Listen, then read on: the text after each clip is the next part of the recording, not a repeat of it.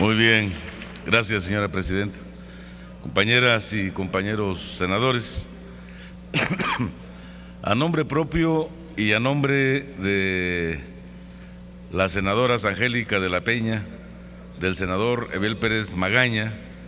de Juana Leticia Herrera Ale y del senador Teófilo González Corso, vengo a presentar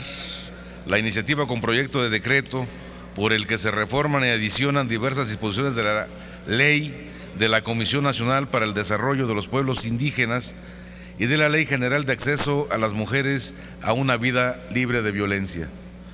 La propuesta se realiza en el marco de la conmemoración del Día Internacional de la Eliminación de la Violencia contra la Mujer, como un recordatorio sobre la problemática de la violencia cometida contra la mujer en México y todo el mundo. Entendemos que violencia contra la mujer es todo acto de violencia baseado en la pertenencia al sexo femenino que tenga o pueda tener como resultado un daño o sufrimiento físico, sexual o psicológico para la mujer, así como las amenazas de tales actos, la coacción o la privación arbitraria de la libertad, tanto si se producen en la vida pública o privada. México ha suscrito la Convención Interamericana para prevenir, sancionar y erradicar la violencia contra la mujer y la Convención sobre la eliminación de todas las formas de discriminación contra la mujer. Y observa las disposiciones de la Declaración sobre la eliminación de la violencia de la mujer para proteger todos aquellos ámbitos en donde se desenvuelven las mujeres, especialmente para prevenir, sancionar y erradicar cualquier acto de violencia en su contra. Sin embargo, aún falta mucho por hacer, ya que factores sociales como la pobreza, marginación, opresión, inseguridad, discriminación, entre otros, siguen afectando la calidad de vida de la población femenina. De acuerdo con las cifras de la OCDE y del INEGI, se documenta que el 47% de las mujeres en México sufre violencia física y o violencia sexual durante su vida. 63 de cada 100 mujeres de 15 años y más han padecido algún incidente de violencia, ya sea de parte de su pareja o de cualquier otra persona o personas. 95% de los feminicidios cometidos en México quedan impunes y de cada 100 mujeres víctimas de trata en el país, 70 son indígenas. Por ello, la Ley General de Acceso a las Mujeres a una Vida Libre de Violencia es fruto de, un gran esfuerzo de organizaciones sociales, instituciones especialistas en derechos humanos, sociedad civil, legisladores e investigadores. Dicha legislación establece los criterios en coordinación entre la Federación, los estados y municipios para la formulación y aplicación de programas o políticas para la no violencia contra las mujeres así como fomentar la igualdad entre la población. Desafortunadamente la realidad nos sigue superando, dejando obsoletos todos los trabajos legislativos, sea porque el contenido de las normas no protege a plenitud los derechos de las mujeres, o bien porque las autoridades correspondientes no las aplican adecuadamente. Es importante señalar que la Ley General de Acceso a las Mujeres a una Vida Libre sin violencia, omite mencionar de manera específica a las mujeres indígenas como un grupo objeto de la ley, mismas que por sus circunstancias sociales son doble o triplemente discriminadas o violentadas. Es cierto que la ley tiene por característica la generalidad y por tanto el contenido normativo se aplica al número determinado de personas sin diferenciar o manifestar alguna señalización en especial. Lo preocupante de esta situación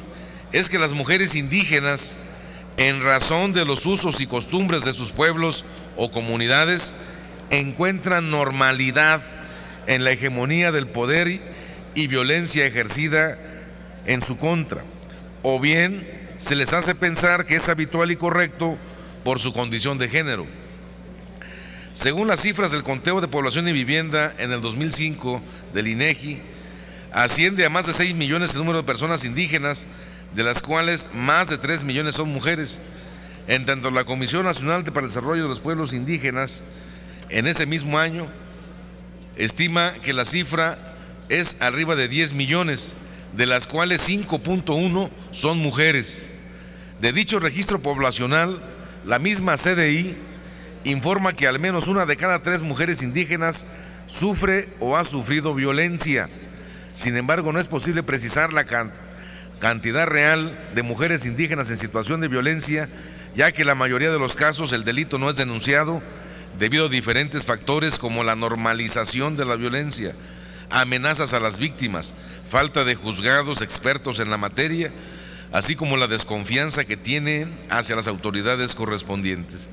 Por ello, la relevancia de contrarrestar la violencia hacia la mujer indígena, la invisibilidad de las mujeres indígenas en el ámbito privado y público han permitido atropellos enormes contra sus derechos humanos. Hechos recientes como los sucedidos en Oaxaca, en los que una mujer indígena no recibió atención médica inmediata e inició el trabajo de parto en el patio del hospital, la discriminación que sufrió una mujer en un establecimiento mercantil por vestir un atuendo tradicional indígena, los comentarios discriminatorios de la ex cuarta visitadora de la Comisión Nacional de Derechos Humanos en contra de los indígenas y el manejo de los usos y costumbres para impedir que las mujeres ocupen cargos o puestos de representación popular son muestra de la realidad que enfrentan las mujeres indígenas para ejercer sus derechos. Bajo ese orden de ideas, compañeras, compañeros, es que se publicó en el Diario Oficial de la Federación el decreto por el que se reforman, adicionan y derogan diversos artículos del reglamento de la Ley General de Acceso a las, a las Mujeres a una vida libre de violencia. Con la modificación realizada por el Ejecutivo Federal, se reconoce la obligación expresa del Estado de proteger los derechos de las mujeres indígenas y la atención de los usos y costumbres de los pueblos y comunidades y su concordancia con el respeto a los derechos humanos de las mujeres, especialmente en la implementación de políticas para la prevención de la violencia. Sin embargo, la intención queda plasmada a nivel reglamentario y no de ley sin mencionar que no, que no resalta la importancia que los titulares de las dependencias y organismos de administración pública federal en la materia se coordinen y abonen para prevenir y erradicar la violencia cometida contra las mujeres indígenas. Por lo anterior, nuestra propuesta plantea adicionar una fracción decimonovena al artículo 2 de la ley de la Comisión Nacional para el Desarrollo de los Pueblos Indígenas con la finalidad de que la CDI coadyuve con el Sistema Nacional para prevenir, atender, sancionar y erradicar la violencia contra las mujeres y se realice el seguimiento de las acciones emprendidas por autoridades federales, estatales y municipales para prevenir, proteger, sancionar y erradicar la violencia y discriminación cometida contra mujeres y niñas indígenas. También es objeto de la propuesta la inclusión del titular del Instituto Nacional de las Mujeres en la Junta de Gobierno de la Comisión Nacional para el Desarrollo de los Pueblos Indios y viceversa, la participación de la Comisión Nacional para el Desarrollo de los Pueblos Indígenas en el Sistema Nacional para prevenir, atender, sancionar y erradicar la violencia contra las mujeres. La finalidad de la reforma va encaminada a establecer una perspectiva de género en el tema indígena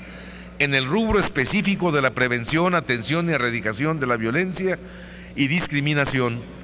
La misma se construye acorde con los criterios del artículo 22 de la Declaración de las Naciones Unidas sobre los derechos de los pueblos indígenas. Consideramos que la cooperación y coordinación de las diferentes dependencias y organismos de la Nación Pública Federal y los otros órdenes de gobierno abonará a lograr el empoderamiento de las mujeres.